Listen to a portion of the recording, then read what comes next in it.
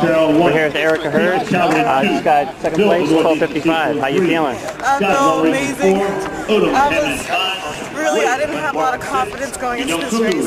And I just proved to myself that I can do Second this. Keep up with 1 these 8, girls. 2 8, 1600 meter What were you looking to do? What was kind of, you know, taking down your confidence? Yeah. Um, I did bad in trials. I ran like a 1290. And I ran like a 12.5 at regionals. So I was just like, what's going on? I need to get it together. Okay, well, great job. Anything else coming up today? Yeah, high jump in the 4 by 1 What are you looking for in the high jump? Um, how do I feel? Or what are you looking to hit? What kind of height? 5'8 again. Okay. Well, great job today. Thank Good luck you. with everything else today. Thanks.